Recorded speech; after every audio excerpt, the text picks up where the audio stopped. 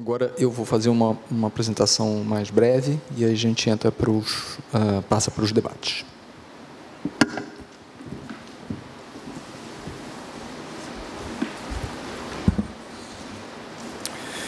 É, meu objetivo aqui é não só fazer uma costura das. Não vou fazer, na verdade, uma costura entre as apresentações, mas vou destacar a questão das desigualdades sociais, o lugar das desigualdades sociais na questão da sustentabilidade urbana. É, a premissa dessa rápida apresentação que eu vou fazer é moral, mas também é lógica. Né? Não é possível fazer o desenvolvimento sustentável de cidades sem enfrentar a questão das desigualdades sociais e urbanas é, uh, presentes nessas cidades. Né? Em especial em nossas cidades, considerando as intensas desigualdades sociais que a gente tem é, de maneira multidimensional. Né? Não só intensas desigualdades, mas desigualdades de vários tipos superpostas. Né? E o que eu vou apresentar aqui é um pouco uma defesa de uma agenda para entender melhor é, a, a forma como essas desigualdades são produzidas e produzidas nos nossos contextos urbanos. Isso aqui é a cidade de São Paulo, só para dar um, uma, uma, antítese, talvez, da urbanização apresentada pela Ana Cláudia no começo da apresentação. Né? É, e eu retorno, é, relembro o meu ponto de partida inicial, quando eu abri a mesa, dizendo que cidades combinam e implicam é, em pesquisa básica, pesquisa aplicada, na promoção de políticas públicas e na pesquisa sobre tais políticas públicas. Né? E essas coisas são indisso indissociáveis, não é possível fazer essas coisas sem uma, fazer uma sem a outra. E, na verdade, parte da graça está nisso. Né? Parte da graça está no fato de que essas, esses campos de conhecimento se alimentam é, entre si uh, e produzem um diálogo criativo que uh, é importante a gente entender. Né? Então, é, a, a, vou sugerir que ao menos cinco dimensões são importantes a gente considerar para essa agenda urbana uh, de pesquisa urbana recente. Né? Primeiro desses pontos é a pobreza, né? discussão sobre pobreza urbana. é um tema com intensa, densa produção, no caso brasileiro, internacional também, sobre níveis de pobreza e seus condicionantes, mas quase sempre com um viés é, comportamental, viés sobre o comportamento dos pobres, e o viés sobre os atributos individuais das pessoas em situação de pobreza. Né? É, é rara a produção sobre as relações da pobreza com o mercado e com a, as saídas da pobreza com o mercado, com a sociabilidade que os pobres é, que cerca a vida das pessoas, com as organizações e as políticas públicas, né, a maneira como as políticas públicas intervêm é, e, e, diversos tipos é, intervêm e, e, influenciam a pobreza e, especialmente, os mecanismos de produção da pobreza. Né? O debate uh, recente é um debate muito rico, muito informado, mas principalmente está associado com as correlações entre pobreza e certos estados e não é, os mecanismos, para entender os mecanismos que fazem com que essa pobreza se reproduza. É, o segundo grande tema é a precariedade habitacional e urbana. A Rosana já tocou nesse tema com muito mais é, detalhe do que eu. Aqui também acumulamos um conhecimento muito grande sobre a, o fenômeno no Brasil e a caracterização do fenômeno e as suas soluções. Na verdade, o Brasil é uma referência internacional na, na, na, nas políticas de enfrentamento à precariedade habitacional. É, pesquisadores da Índia, por exemplo, é, ficam invejam a nossa, a nossa experiência recente, né? Mas a gente precisa entender melhor a diversidade das condições de precariedade para conseguir customizar políticas mais diversificadas e aderentes às situações locais. Aqui eu vou muito na linha do que a Rosana é, apresentou. Então, isso aqui é uma favela em São Paulo, não no Rio de Janeiro, mas podia ser uma favela carioca.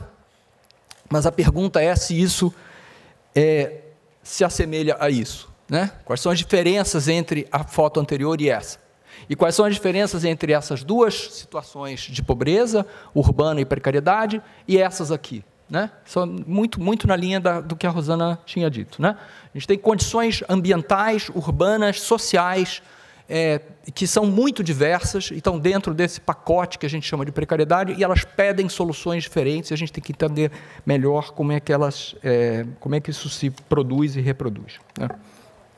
Também uma, o terceiro grande tema para a discussão sobre as, sobre as desigualdades e a, e a reprodução das desigualdades e a, e a cidades diz respeito às desigualdades sociais, gênero, raça e outras dimensões, é, sejam categoriais, identitárias, É, também acumulamos aqui uma, um conhecimento muito grande sobre a distribuição das desigualdades entre si e a sua, a sua regularidade, como ah, negros e brancos, homens e mulheres ah, se, se, é, estão submetidos a condições desiguais, e alguma coisa entendemos da cumulatividade, mas a gente entende ainda muito pouco sobre os mecanismos de interseccionalidade é, e de influência mútua sobre essas dimensões de desigualdade e sobre os mecanismos de reprodução dessas desigualdades sociais. E combater as desigualdades sociais depende de conseguir entender é, e, a, esses mecanismos para poder neutralizá-los. Vou dar um exemplo para concretizar um pouco mais isso. Isso aqui é de uma pesquisa minha, é, que já tem um certo tempo, sobre sociabilidade e pobreza. Né?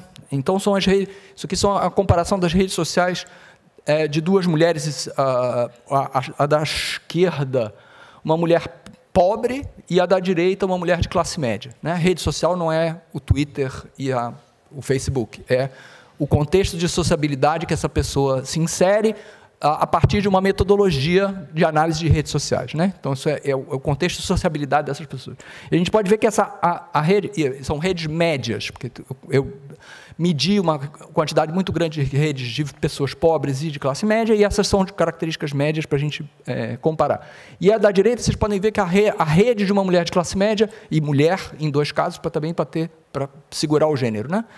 É, a, a, a, rede da direita é muito maior, muito mais complexa na sua estrutura e muito mais variada, que é uma informação que não está é, apresentada no sociograma, mas muito mais variada em termos de sociabilidade. Né? Isso tem a ver com a quantidade de informação e o tipo de informação que circula e que chega a essas pessoas. Então, isso são dimensões que reproduzem desigualdades também.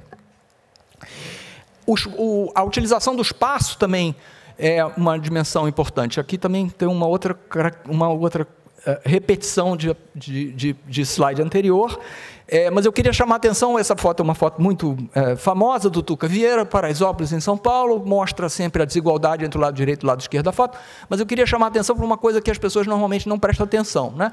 O lado direito é cheio de amenidades, certo? A gente sabe que ele tem lá uma quadra de tênis, uma outra coisa poliesportiva, um monte de piscinas individualizadas, etc. E tal. Do lado esquerdo a gente tem uma coisa densa, com é a, é, é a, a favela de Paraisópolis, etc. E tal. Mas vocês já tentaram descobrir as pessoas? Fizeram o exercício onde está o Wally nessa foto? Você não consegue encontrar uma única pessoa usando essa infraestrutura de lazer toda do lado direito da foto. Né? E o lado esquerdo, você encontra, se a gente tivesse, pudesse fazer o zoom, diversos momentos, diversos locais de concentração de sociabilidade propriamente. Né? Então, o uso do espaço varia e o uso das amenidades e das, das coisas que estão presentes no espaço varia segundo o grupo social. E isso é uma coisa que também ajuda a reproduzir é, e a transformar a desigualdade. O quarto, a quarta agenda, quarto elemento da agenda é a discussão sobre acesso a políticas e serviços. Também aqui é, conhecemos muito, é, no caso brasileiro, é, passamos a conhecer, temos ah, aumentado o nosso conhecimento sobre o funcionamento das infraestruturas e das políticas e as trajetórias de acesso, é, mas muito menos sobre os mecanismos que atrapalham, que evitam o acesso e que mantêm qualidades desiguais. Né? A gente, no caso brasileiro, avançou muito nos indicadores de acesso, é, na equalização dos indicadores de acesso a, a, a, a políticas básicas né, de infraestrutura e políticas uh, uh, sociais, mas com, reproduzindo dimensões muito fortes de qualidade dos serviços, né, com grandes desigualdades na qualidade do serviço. Falta entender melhor como a implementação das políticas leva, de alguma forma, a qualidades diferenciadas ou evita que certas, ou mantém certos bolsões fora dos serviços. A gente tem aqui as, as curvas, só para dar um exemplo sobre isso, as curvas de cobertura da energia elétrica e de abastecimento da água em azul e vermelho, a gente pode ver que elas crescem muito fortemente na direção da universalização, a, a, a água dá uma horizontalizada lá em cima, né? então uma síntota é, é, horizontal, que está associada com o fato de que lá, aquilo lá que falta para universalizar, está associado com, ah, com precariedade urbana. Né? É, para conseguir chegar na, na universalização ali, você tem que resolver não só a água, mas tem que resolver outros problemas que impedem que a água chegue. E o caso do esgoto, a gente tem uma estabilização, um crescimento muito mais baixo e num patamar e uma estabilidade é, recente num patamar muito, muito mais baixo. Isso aí ainda não estou nem falando sobre tratamento de esgoto, estou é, falando sobre a, a existência do serviço. E isso está associado com a existência de precariedade urbana muito forte em diversos locais é, do Brasil. Então, não basta resolver ou pensar especificamente no serviço e na expansão do serviço, tem que pensar também nas condições urbanas onde esse serviço está inserido. Eu acho que a gente tem pensado pouco sobre isso. E, por fim, é, a segregação urbana. Né? Os padrões é, de segregação das cidades, a gente conhece bastante os padrões de segregação das nossas cidades, isso tem a ver com os padrões de, de, de as desigualdades de acesso que o, que o Ronaldo estava chamando a atenção há pouco, né? o fato de que tem pessoas que conseguem chegar em meia hora no trabalho, tem pessoas que demoram duas horas e meia para chegar. É, a gente conhece esses padrões, mas a gente conhece bem pouco esses padrões, a conexão dos padrões de segregação com outras dimensões, inclusive com as dimensões que eu citei anteriormente, com a acessibilidade, com os projetos urbanos e como as intervenções dos, da, do, do, do, poder público e as leis de uso e ocupação do solo e o controle sobre, sobre o uso e ocupação do solo reproduzem esses, esses padrões, isso tem grandes consequências no caso brasileiro. Alguns exemplos bem rapidinhos, só para visuais, para a gente é, exemplificar isso. Isso é a segregação por classe social em 2010, em São Paulo, esses dois mapas. À esquerda, a gente tem a, é um mapa temático dos profissionais de nível alto, não vou pular aqui as questões metodológicas envolvidas, por razões óbvias. E a, do lado direito a gente tem os manuais qualificados, trabalhadores manuais qualificados. Quanto mais escura a área, maior a presença relativa daquela, daquele grupo, certo? A gente pode ver que esses dois mapas são quase um espelho do outro, certo? Onde tem muitos é, profissionais de nível alto, tem bem poucos manuais qualificados e vice-versa, certo? Isso ah, denota um padrão de segregação na, na escala da metrópole. A gente está falando sobre uma área, é, isso estou falando de uma a área desse mapa envolve é, aí é, leste-oeste 40 quilômetros, né?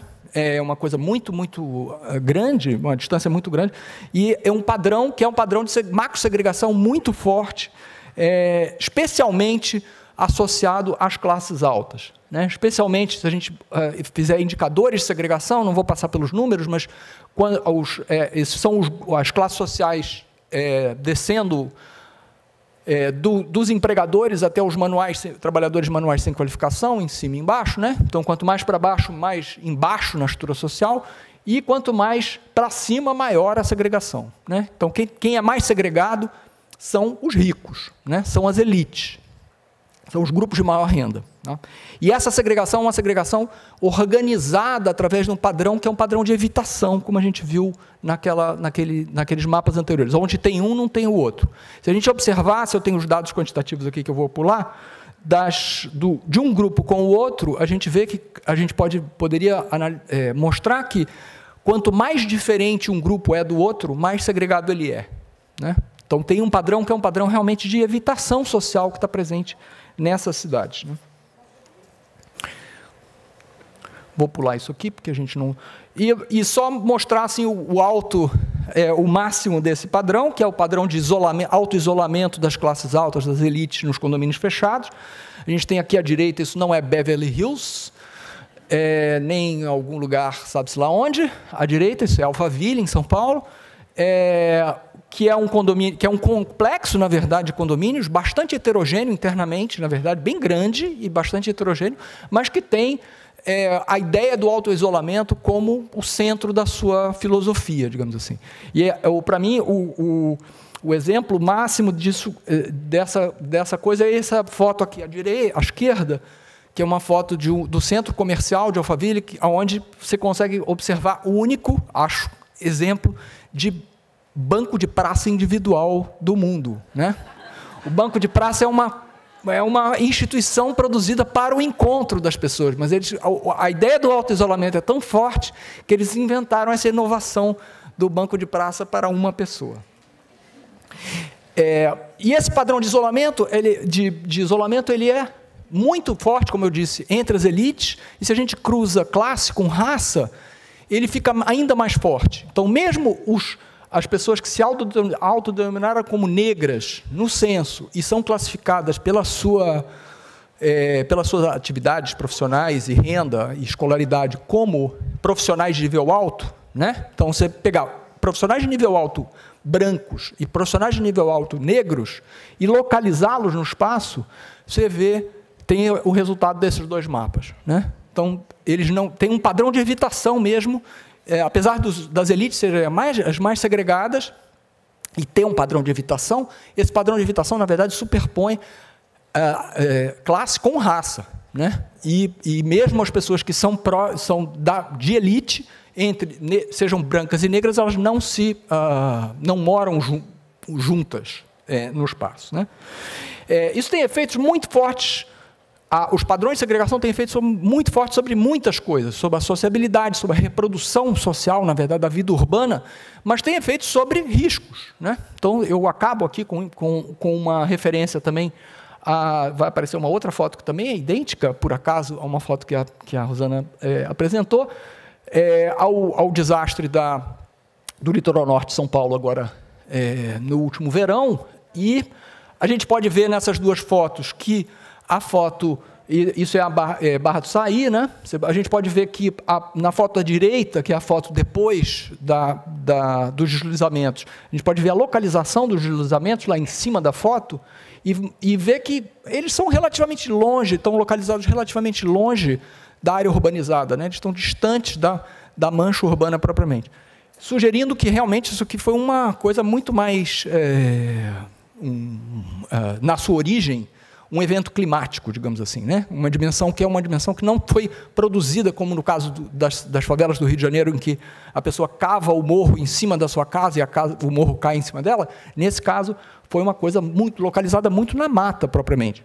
Mas quando você chega perto dos lugares que sofreram os efeitos disso, são as áreas periféricas dessas regiões. Né? E, e, quem faz esse, quem opera esse mecanismo é a, a segregação residencial, né? fazendo com que os moradores das mais pobres estejam próximos da área que vai ser inundada.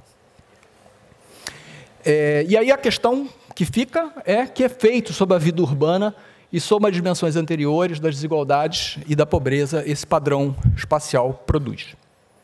É isso. Obrigado.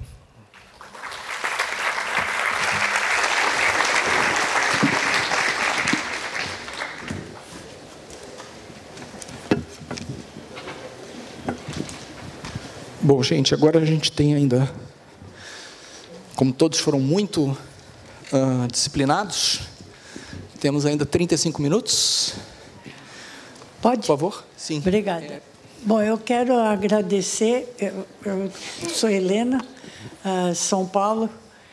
Me senti emocionada toda vez que eu vejo aquelas imagens do Morumbi com aquela aquele tipo de vida e a comunidade ali do entorno que onde mora muito mais gente, e aquela tua imagem de quadras de tênis, uma piscina por andar, e eles têm só uma quadra lá de futebol. Então, é só quem vive lá é que consegue realmente. Agora, o que eu queria trazer, agradecer a vocês quatro, mas uh, pensando, o, o diagnóstico está corretíssimo. Agora, como é que nós damos o um novo passo? Ah, nós, eu vejo, pode ser que eu esteja errado, eu sou a velhinha de Taubaté mesmo, que eu ainda acho que dá para mudar. Tem um conselhão acontecendo de novo, né? o Conselho do Desenvolvimento Econômico, Social e Sustentável. Ah, o conselhão, inclusive o presidente Lula, quando fez a abertura, ele ah, colocou projetos para o Brasil que saíram de recomendações do Conselhão. Então, o PAC é do Conselhão, Minha Casa Minha Vida. Então, é, é, que tal a gente usar e levar propostas? Então, qual que seria, como é que a academia ah, poderia propor são, eu sei que é um número gigante, 256 pessoas não é mais conselho, é aglomeração, tá certo? Mas eu vejo uh, ainda alguma esperança de se levar uma proposta. Mas nós teríamos que ter um conjunto, pensando que não precisa estar lá no conselhão, mas chegar depois para pessoas e encaminhar. Como também o outro conselho que me preocupa, que vai, vai escrever o PPA, que é o da ministra Tebet, também eu vejo que a gente. Então, eu não sei se é o otimismo da velhice, de achar que ainda dá, porque a gente que tem neto grande e neto pequeno quer ver que o Brasil ainda tem condição. E ah, ah, eu queria agradecer também o, trazer aqui os dados da, ah, da Amazônia. Eu acho que isso também era uma coisa, viu, que a gente, Maria, teria que elaborar dentro da academia, porque eu não conhecia a, das cidades, do, como que já eram feitas, cidades ou vilas, ou que seja. Exatamente aquilo. Eu acho que pouca gente conhece. Eu acho que a gente tem que cacarejar mais para mostrar como é que o Brasil poderia realmente agradecer. Eu, em teu nome, Eduardo, eu agradeço a todos. Falei demais. Obrigada. Muito bom ouvir quatro exposições tão relevantes. Queria fazer breves comentários. Eu acho que eu vou começar falando sobre a, é, a exposição do Ronaldo, que você chamou muita atenção que é possível, tem problema de gerenciamento. Né? Eu suspeito que esse gerenciamento vai muito além da noção usual de gerenciamento, que, por exemplo, a questão do respeito ao ciclista. Eu acho que a gente caminhou possivelmente em consequência da pandemia, para uma involução de civilização e sociabilidade, porque tem o problema também da falta de respeito dos ciclistas aos pedestres. Eu acho que numa situação de emergência, a gente abriu mão de certas regras de convivência e agora ficamos nesse, nesse ponto, ainda não retomamos um esforço de, de civilidade mas isso é só uma coisa lateral. É, eu queria chamar a atenção, era para a observação que eu gostei muito, que a Rosana chamou muita atenção para a importância da, da área acadêmica, que é onde eu estou também. E eu acho que uma das coisas que é muito bom ouvir vocês é porque vocês são ilhas de excelência. Que falando do ponto de vista de interdisciplinaridade, por exemplo, existe muito pouco entre nós. E segundo que, para falar agora só das ciências sociais, que é onde eu estou, né, eu acho que a gente tem uma quantidade de projetos artesanais e muito poucos grandes projetos. Isso torna muito difícil criar externalidades de conhecimento. É, e a gente, nós falamos muito que o governo está fazendo errado, mas eu acho que aí nós somos cúmplices, porque muito da política das, das, agências de fomento somos nós que estamos lá dentro, que avaliamos, que fazemos. E uma coisa que me choca, por exemplo, é ver o diretório de pesquisa no que diz respeito às ciências sociais. A quantidade de projetos que tem um líder e um, um pobre seguidor é enorme, porque a gente é, estimula projetos fragmentados tanto nós, como as agências de fomento, é, valorizamos as posições de liderança, quando é, liderar é bom, claro, mas é, a quantidade de a riqueza da liderança depende dos seguidores. Se não tem gente no network, eu acho que aí nós estamos falhando. Então, quer dizer, eu gostaria como Helena, de pensar como é que a gente afeta o conselho, mas o conselho é muito grande. Eu acho que a gente, é, estou pensando agora nós cientistas sociais, nós cientistas em geral, como que a gente pode fazer para é, mudar essa lógica dos projetos fragmentados, é, da falta de interdisciplinaridade e da falta de comparatividade, que é uma outra coisa muito séria no caso das ciências sociais, pelo menos. Obrigada. É, bom dia a todos. Eu sou da Bahia, né? Sou também otimista, como Helena. Não sei se é por causa da idade, eu sou muito mais velho do que ela, provavelmente, mas continuo otimista. E acho que essa, essa reunião toda, né, da reunião magna, tem sido excelente para mim, é a primeira vez que estou participando. Eu acho que é, essa situação de como transformar isso tudo em políticas públicas, eu acho que não é muito simples, é difícil. Né? A experiência que a gente tem em saúde, por exemplo, eu trabalho atualmente com uma doença, infecção extremamente negligenciada, né? E que na Bahia houve uma, um avanço muito grande. Então, tem uma tese de uma pessoa da, da Fundação Oswaldo Cruz, né, que analisa o porquê que a Bahia conseguiu avançar e os outros locais não conseguiram. Então, ela avalia com cinco, com, com um modelo específico, e vê que não é tão simples, é uma coisa complexa que precisa, que depende de vários atores, né? e que talvez valesse a pena a, a própria academia pensar em fazer um, um, seminário sobre como transformar todo esse conhecimento em, em, em políticas públicas. Isso eu acho que é extremamente importante.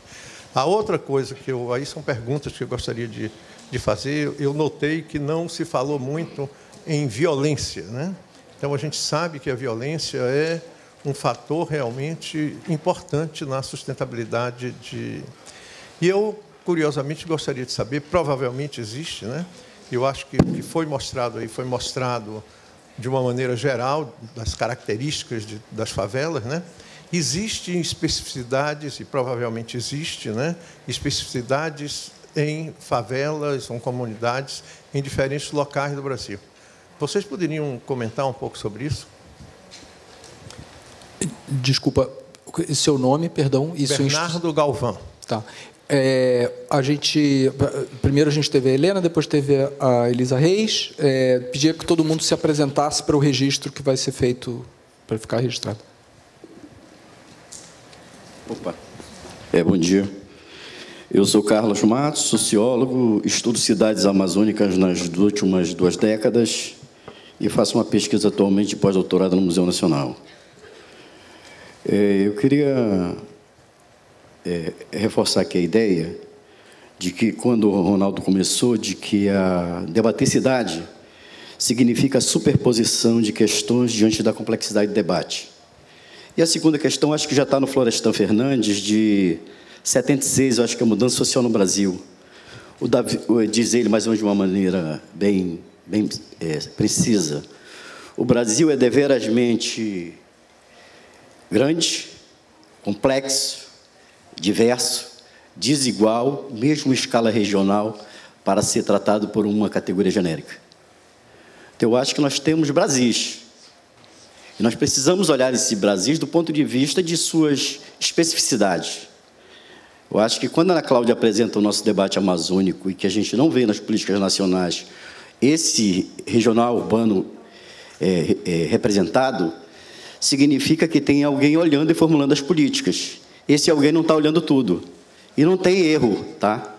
Tem a perspectiva material, histórica, de classe, cultural, no qual forma o especialista e forma os formuladores da política urbana. Então, acho que para algumas realidades, rio não seja importante, floresta, distanciamento dos lugares, o papel da madeira, a presença dos indígenas, dos quilombolas em cidades, e para nós é muito importante. Então, eu queria que a Ana Cláudia pudesse explorar um pouquinho mais essa questão do debate dessas, é, desses fluxos que envolve aldeia, cidade, floresta, rio, mas também desse distanciamento de lugares. Porque levar uma casa de, de, de pedra, de tijolo para dentro da floresta, eu acho que é uma, uma é desconhecer ou então não pensar o que é que é a vida do lugar e como a vida do lugar se realiza. Tá? E a outra questão que eu queria colocar aqui é que a mudança climática é uma questão de longa duração que deve entrar na nossa agenda. Então, é, vocês colocaram, Ana Cláudia, você, Rosângela? Pois é. É. Como é que nós podemos ampliar esse debate do ponto de vista da mudança climática, ser uma agenda dentro do estudo das cidades? Também vou concordar com a questão da interdisciplinaridade. E, para fechar, eu acho que a questão da interseccionalidade é uma questão que nós devemos levar muito a sério. Tem a questão de classe que marca a produção intelectual brasileira, mas tem que pensar a questão religiosa, tem que pensar a questão da orientação sexual, a questão dos homens e mulheres, mas não tem que pensar indígenas, quilombolas, migrantes estrangeiros, nós temos que pensar geração. O Brasil mata os seus jovens, especialmente negros, então são questões que estão colocadas para nós e como desafio analítico, mas também político para pensar. E por fim, é só comunicar. É, nós temos, estamos criando uma grande rede de pesquisadores amazônicos para enfrentar o próximo debate dos próximos anos. Nós já somos 66 pesquisadores de todas as universidades públicas da Amazônia federais, de vários institutos de pesquisa, e já somos 38, perto de 10 áreas de pesquisa e 35 núcleos de pesquisa de todos os estados da Amazônia Legal. Então, é, é, é, a oportunidade aqui é, é, legal, que eu acho que nós estamos falando de um Brasil complexo e é muito bom poder compartilhar, aprender e trocar essas informações. Obrigado, Márcio. Agora a gente tem, acho que é o Roberto, e, e a gente ainda tem quantas perguntas? Bom dia. Tá. Então vamos, vamos seguir com elas. Acho que a gente ainda tem 22 minutos. Então, pedia que as pessoas fossem um pouco concisas para a gente conseguir chegar, dar pelo menos três minutos para cada apresentador. Bom, bom dia a todos. Eh, meu nome é Dirce Marchione, eu sou da USP, pesquiso a área de consumo alimentar e segurança alimentar. E minha pergunta vai para a Rosana, mas para todos da mesa. Eh, parabéns pelas excelentes palestras. Né? A minha questão é que nós temos assistido eh, especialmente nos últimos anos, mas já vinha vindo uma tendência desde 1918 eh, ao aumento da fome, ao aumento da insegurança alimentar no nosso país. E eu fico pensando como produzir alimentos como domesticamente dentro dessas casas insalubres. Eh, nós sabemos que a fome e insegurança alimentar incide principalmente em populações vulneráveis, como é o caso de quem habita eh, as favelas. E, nesse sentido, a, as habilidades culinárias, a produção de alimentos, é extremamente importante para, a saúde. Mas como produzir alimentos em casas insalubres, em casas onde não há água, não há esgoto? Eh, e como isso está sendo visto nessa agenda de pesquisa das, eh, das cidades? Né? É, pensando nessa fragmentação que a professora colocou, é, é importante que nós adotemos um olhar mais abrangente. É, alimentação é a base da saúde e essa situação de fome que se arrasta desde décadas é absolutamente vergonhosa. Então, como isso está sendo pensado? Obrigada. Bom dia. Aqui. Eu sou aluna da UERJ, de, da Faculdade de Educação, e a minha pergunta é para a doutora Ana Cláudia, fazendo uma conversa com a outra professora, é, que citou a importância da interdisciplinaridade. Né? E a doutora Ana Cláudia falou que era muito importante também você é, visitar as ocupações originárias para aprender com eles né, como que a ocupação deles não é tão agressiva ao meio ambiente e à saúde da população. E ter como referência, né? Então, minha pergunta é se há uma referência de, por exemplo, no Pará, eu sou filha de paraense, neta de paraense também, é, de uma prefeitura, por exemplo, que buscou politicamente a participação democrática, né? E a academia, a universidade, a ciência, porque é disso que nós estamos falando, né? da busca é, da ciência e também da busca da ciência à sociedade, né? a ciência buscando ir à sociedade e a sociedade buscando a ciência. Né? Se há um tipo de prefeitura, de política, de prefeito ou de conselho, e, e dessa prefeitura que valoriza esse conselho para que uma ou mais, né, para que a gente tenha também como referência para desenvolver em outras cidades.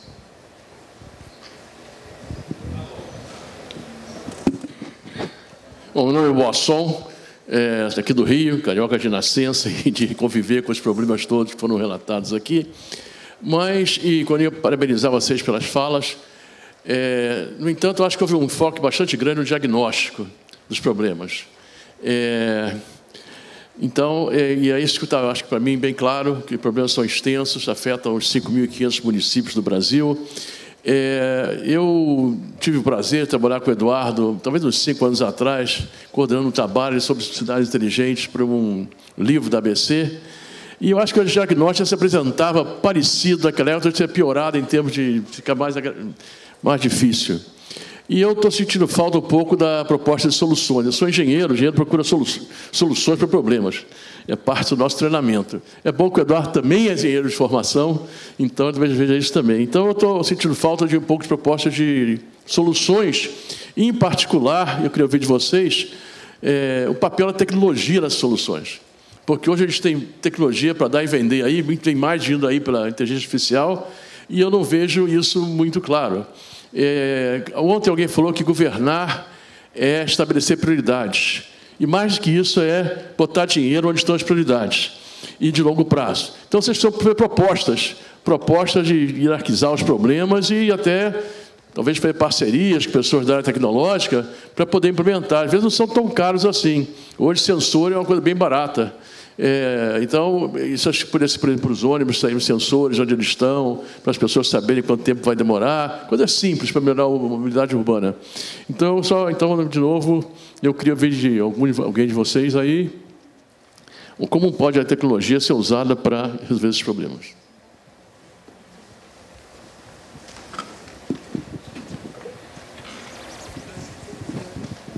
Não quer começar a responder?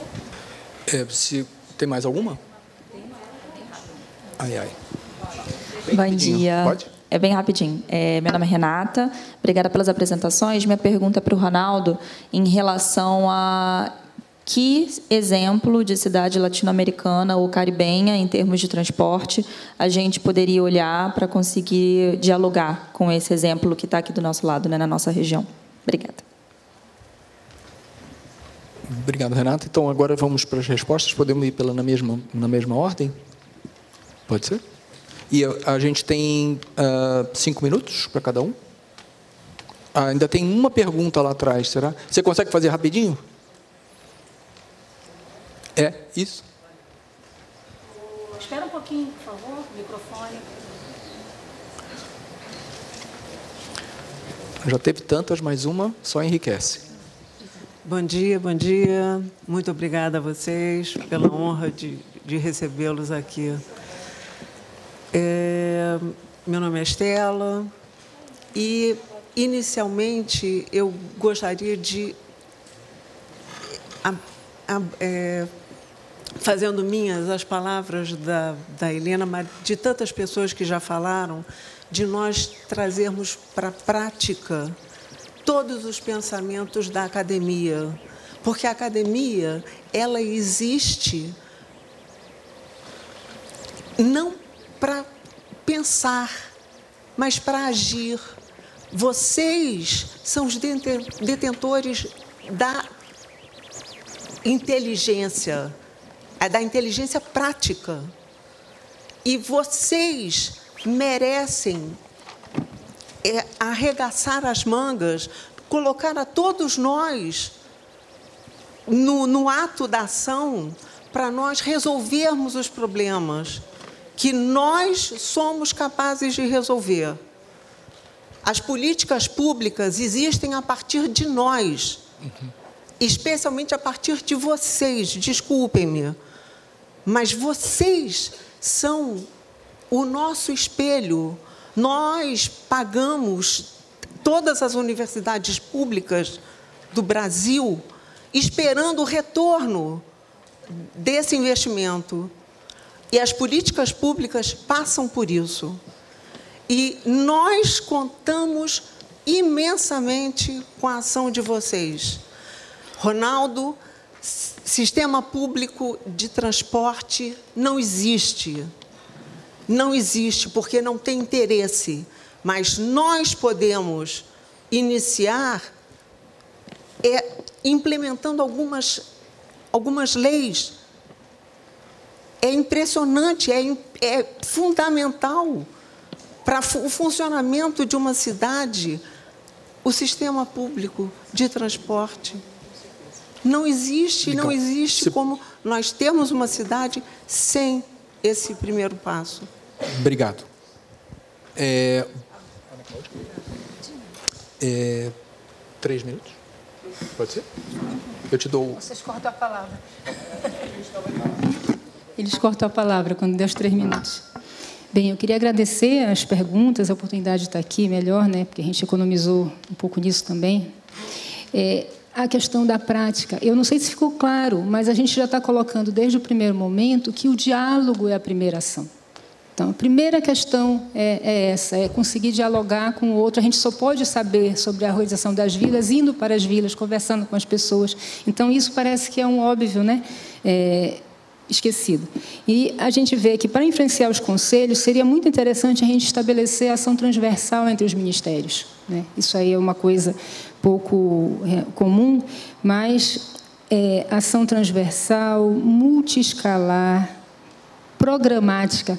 Já pensou se o Ministério da Cidade pudesse ter continuado uma ação por 20 anos, né, na primeira década do século? Então, programada para muitas, é, para médio e longo prazo e dialogada né, com a população. Então, eu penso que a partir daí nós possamos desenvolver sociotecnologias. Precisamos de tecnologias e cidades inteligentes, mas será mais inteligente aquela que puder enfrentar desigualdades. E às vezes a gente precisa modular isso para agir no sentido de evitar o que está acontecendo, pelo menos na Amazônia, que o crime está tomando conta não só da periferia das cidades, mas também de todos esses espaços periurbanos que eu, eu comentei. Se nós não fizermos nada agora, é a mesma situação. É, assim, é uma questão de. de é, é, é uma trajetória temporal. Né? Então, nós somos. Aqui é o que vai ser ali amanhã. Então, é, isso está lá e a gente está defendendo que muitas das nossas experiências possam ser revistas, porque, por exemplo, o Estatuto da Cidade ele precisa ser atualizado com relação a questões ambientais, né? E a gente sabe que o vazio hoje ele também é, tem função social, porque é lá no vazio onde estão os espaços de produção de alimento. Então, aqueles intertícios que eu falava, que não tem condição da gente de explorar, desenvolver muito, né? É, eles têm uma função não só é, ambiental, ecossistêmica, mas eles estão estritamente ligados à questão da produção. E quando eu falava produção, é muito produção de alimento. Né? Então, a cidade que abastece com circuitos, que se abastece com circuitos curtos, ela não emite CO2, ela está ali é, melhorando a condição do fluxo gênico, enfim, tem muitas vantagens. Né? Então, é, a gente ter a possibilidade de trabalhar ouvindo né, a a, a, a, população e aumentar a representatividade dos nossos dos grupos sociais que constituem a população brasileira é, nas universidades, nas, é, nos níveis de decisão é, é ligados à, à, política pública é uma coisa que nós precisamos manter e avançar. Né? O Carlinhos pediu para eu falar um pouquinho sobre a questão é, dos modos de vida. Enfim, eu não sei se viram uma, uma, imagem onde eu mostrava como Minha Casa Minha Vida foi feito dentro de uma, de uma área quilombola. O que significa aquilo? Aquilo ali significou mudar radicalmente o modo de vida deles, porque, primeiro, precisava é, concentrar para poder usufruir da, da água, né? e é, mudou tudo. Então, quando a gente conversa com a companhia de habitação, eles dizem assim: professor, a gente fez aquilo porque a gente não sabia como fazer de outra forma. Então, há um problema de pacotes tecnológicos, de repertório muito grande e a gente precisa ir para campo, registrar esses repertórios, trabalhar com as áreas da tecnologia e, e, e que gerar a inovação, é? trabalhando com aquilo que funciona no lugar, mas é enraizado, que, que, é, que é, traz os últimos, é, as últimas possibilidades tecnológicas, mas é enraizado. Enfim, então eu gostaria de, de destacar é, uma experiência que nós tivemos, é, talvez agora há 15 anos, não sei, mas é, o município de Belterra fez um plano diretor que seguia estritamente o que o Ministério das Cidades é, recomendava naquela altura, o que era raro, né? mas também é, contava com um prefeito que tinha o propósito de trazer todo mundo para o debate. Então, Belterra teve um plano diretor premiado, trabalhou com todas as instâncias colegiadas possíveis e ganhou um prêmio, acho que do, do, do Congresso, né? E pode ser uma referência, né? mas isso é raro, são efemérides que acontecem. Então, durante um certo tempo, uma determinada equipe, um determinado gestor consegue articular, né? mas a gente está precisando construir muito disso, porque os próprios movimentos sociais são cooptados por pautas que são externas àquela realidade deles. Nem eles conseguem compreender muito bem, porque depois de 50 anos se falando que a pessoa precisa viver de uma outra forma, como supostamente deve ser o progresso, ela perde o contato com a própria realidade dela e deixa de colocar com clareza aquilo que ela gostaria. Então, tem um trabalho enorme para fazer. E ele começa pela escuta, e pelo registro, e pela é, é, preparação né, da instrumentalização, digamos assim, da academia para realmente colocar na sociedade soluções. Gratidão. Muito obrigado.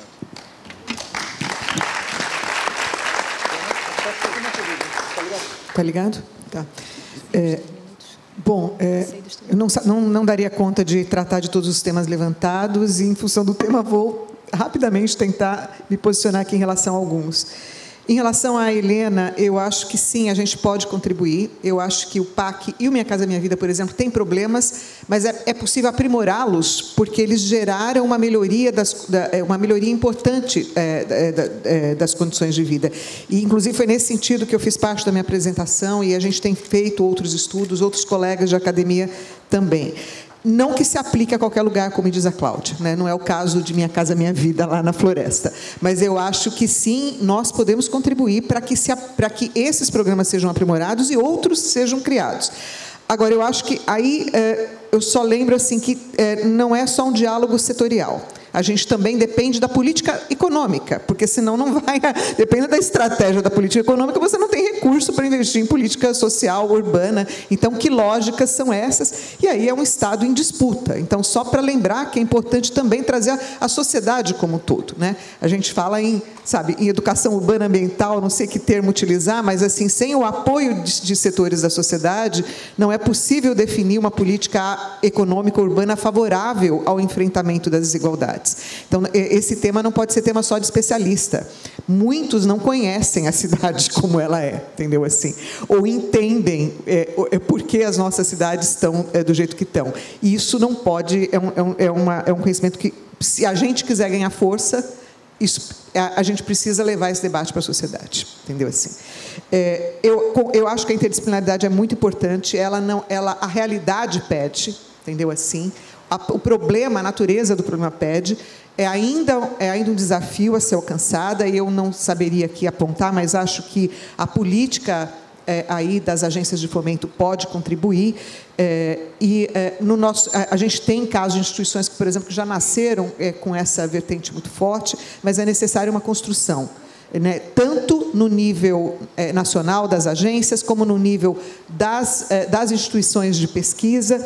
Agora, eu sinto que os nossos alunos, e também na formação, entendeu? Assim, é muito, eu acho muito importante a formação da UFABC nesse sentido, porque a gente tem conseguido formar alunos, é, né, é uma outra geração, né, jovens, e conseguem mais facilmente, por conta do nosso ambiente, de um determinado ambiente que é da federal. Então, assim, eu vejo com bastante otimismo também pensar essa indisciplinaridade também, também na formação, né, a importância de, é, de trabalhar na formação.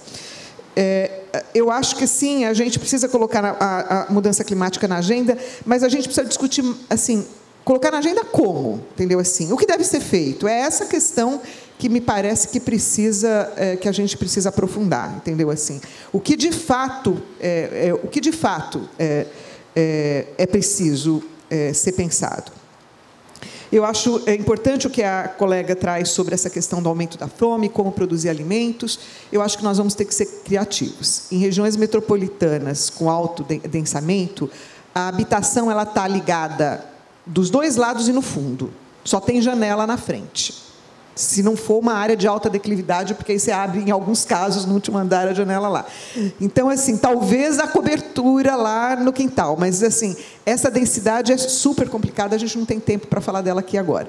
Mas talvez pensar, trazer novos componentes para esses programas de intervenção, né, que foram aprimorados, e trazer esse tema é, no projeto, para pensar, de repente, espaços, espaços que podem ser reservados coletivos para esse tipo de atividade. Mas, na verdade, eu estou aqui é, falando sem, é, sem me debruçar é, sobre esse assunto.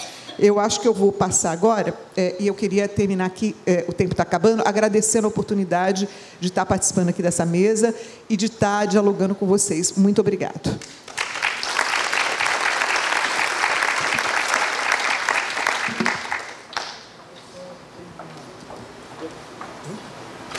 Obrigado. Alô? Não, você mencionou a coisa do dos veículos que estão todos equipados, né?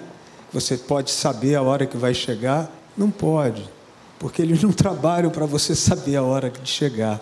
Eu vou te contar uma história engraçada, que não é tão engraçada, que eu acho. O que, que acontece? Esses ônibus são todos monitorados. Né? Então você sabe onde o ônibus está, onde ele vai parar. Aí eu vi um, um rapaz né, trabalhando para a empresa, ele estava parado num ponto, o ônibus parou, e aí ele pergunta: Que horas? Aí o rapaz respondeu: ah, Foi 1 e 5. Aí ele anota lá. Aí eu, escuta, por que, que você está fazendo isso? Não, meu chefe manda. Manda por quê? Não, porque ele não confia esse negócio de tá, tá tudo, sabe? Ele, ele não confia. Então a gente tem que bater isso aqui com a hora que o carro chega. Então, na verdade, essa o que eu chamo, né, de uma, uma rede toda conectada, ela não, não, não vai para frente exatamente por causa disso. Isso não existe. Isso é se o Estado, né, no caso o município, não for o gerente do sistema, se continuarem os operadores sendo os gerentes, vai continuar assim, porque eles fazem o que querem. Então, é, a, a, nossa tecnologia está sendo desperdiçada e o nosso serviço está piorando cada dia, cada dia. Desculpe, mas é que você fez só mais uma. Você tinha feito uma pergunta e eu, eu não estava prestando atenção. Desculpe. Ah, um bom exemplo.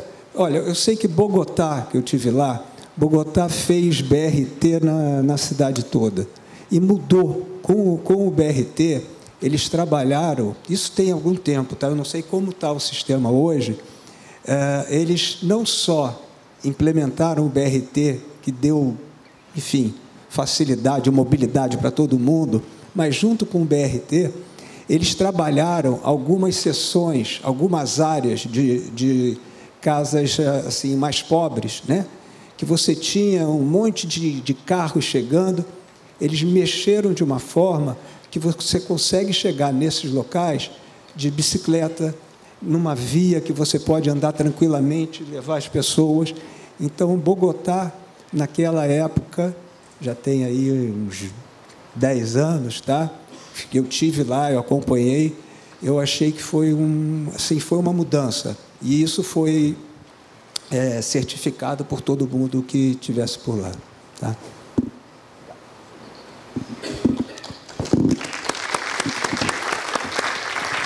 Então, só para terminar, eu diria assim, muito rapidamente, tentando escolher algumas. É, Uh, e, indo ao contrário, assim, do mais. Uh, faltou violência urbana, você tem toda razão. Eu acho, a culpa é minha, porque fui eu que fiz a, os convites para a mesa. Mas eu acho que a questão da violência urbana é uma, uma, uma questão mais complexa do que simplesmente a questão da cidade. Né? É uma daquelas coisas que acontece na cidade, mas ela, na verdade, uh, ultrapassa em muito. A, então, já fica aqui, talvez, como sugestão para a próxima reunião magna uma mesa sobre violência urbana que possa analisar a violência é, sobre, sobre o ponto de vista das várias dimensões.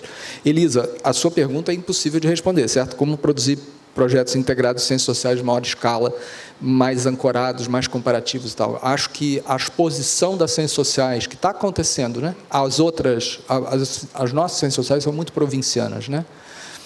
É, e, e, acho que elas estão ficando menos provincianas, é, tanto no sentido da internacionalização quanto no sentido das outras, dos outros conhecimentos, é, das outras áreas de conhecimento. E eu acho que essa, essa troca pode produzir aí efeitos positivos no médio prazo. Sobre o que fazer, né? Eu não sou, não tenho netos, mas eu sou vascaíno, que então tem uma dimensão assim que é, a, é, a, a, esperança é uma, uma profissão de fé que sempre se renova, né? É, e eu, eu também acredito nas transformações incrementais em política pública. Eu acho que as políticas públicas aprendem, quer dizer, não são elas que aprendem, mas as pessoas que as fazem aprendem, o debate público aprende, e eles vão, as políticas vão sendo. E, aí eu retomo o que a, que a Ana falou. Né? Imagina se o Ministério das Cidades continuasse produzindo políticas na mesma direção, com um financiamento forte durante 20 anos, ao contrário de ter tido a inflexão que ele teve a partir de 2015. Né? A gente tinha acumulado, conseguido acumular e corrigir muitas coisas que estavam é, mal posicionadas. Então, o que fazer? Eu acho que o próximo passo já começou, que é a reorganização da presença federal nas políticas urbanas, é uma coisa absolutamente fundamental. Você tem uma quantidade muito grande de cidades com variedade muito grande, né, heterogeneidade muito grande de situações. Por isso, você tem que ter políticas de indução federal e políticas de financiamento federal nas situações, em todos os países que você tem a escala do Brasil é, e a diversidade do Brasil, você tem que ter entidades nacionais fazendo é, política. É, e isso tem que ser feito com a retomada do investimento, com, e não sei se isso já está acontecendo, acho que não, mas enfim, tem várias dimensões e desafios para fazer isso acontecer, mas o caminho acho que está claro: retomada do investimento, é, retomada da indução federal a políticas locais que sejam é, mais políticas, que tenham mais políticas, que sejam políticas redistributivas urbanas, que sejam participativas e que desenvolvam, ajudem a desenvolver capacidades é, técnicas locais, né? que é uma dimensão muito. A, a, precariedade dos, dos, da maior parte dos executivos municipais é um dos problemas que a gente enfrenta.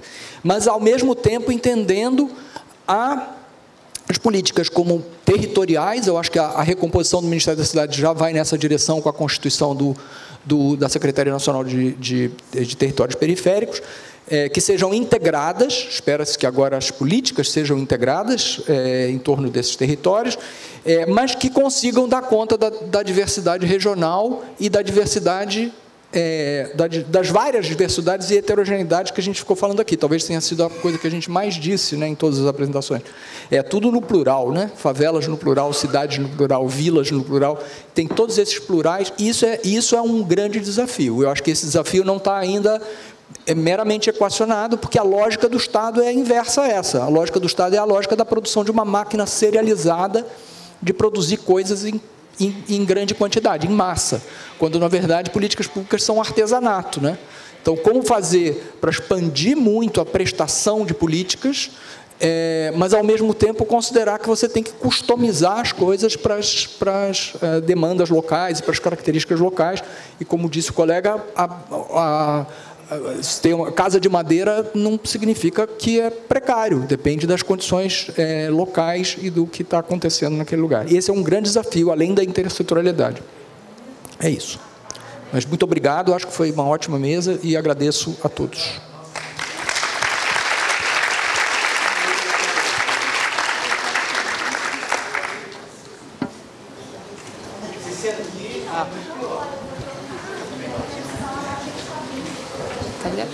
Gente, para quem tiver interesse nesse debate sobre planejamento urbano, regional, a gente vai ter daqui a duas semanas o Enampur, que vai acontecer em Belém, e já tem mais de mil pessoas inscritas, enfim, onde todos esses temas estarão, de alguma forma, todas essas pessoas estarão participando, só para dar ciência.